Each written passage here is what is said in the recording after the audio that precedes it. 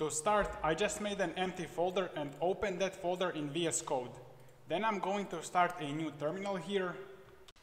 Now guys, I need you to have some kind of virtual environment. So I want you to, for example, come here and install Miniconda and then you're gonna say installing Miniconda and download and install this. If you need a video on how to do this, I will make it.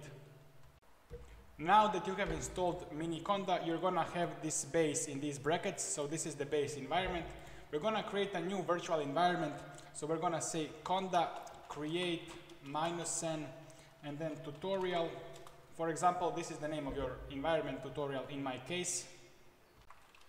Then you're gonna send y to proceed and at the end we're gonna conda activate tutorial. Now whatever libraries we install going to be installed in this virtual environment and not in any other environment. So we will first of all pip install LangChain.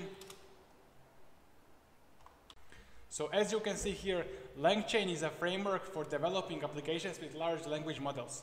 It's extremely powerful. We can do absolutely everything. There is literally everything in LangChain. So after LangChain has installed, we will also pip install Chainlit.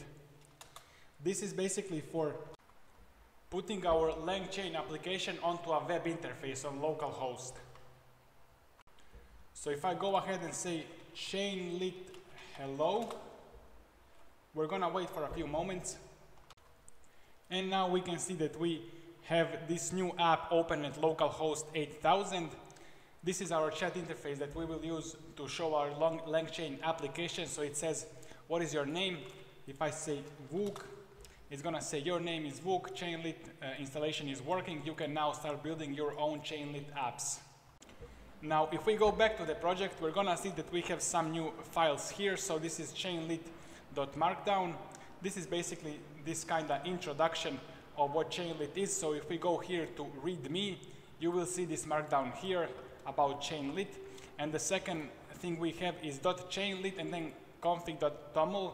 So we will not look at this for now, but just uh, understand that this is a configuration file for our Chainlit web application.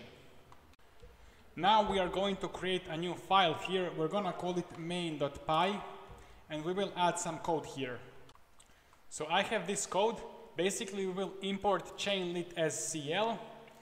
Then we're going to say at CL on chat start. So this is basically a decorator. If you don't know what decorators are, uh, look at them as functions.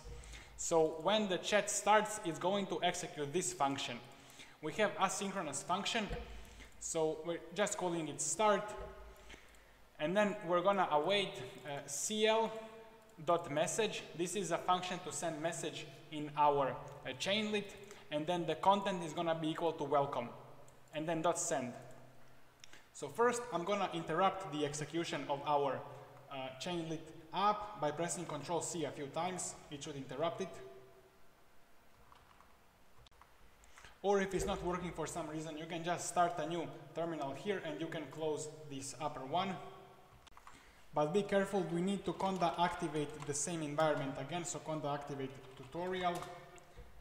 And then we will say uh, chain lit run and then our app name which is main.py our file and then dash w and then enter so this dash w is basically watch so whenever we update something in the code it's going to also update our uh, web application as well so we, say that the first uh, chat message we have is welcome this is the welcome message that it is sending here I now added a bit more code so we have uh, this other decorator cl.on message. This happens every time a user sends a message.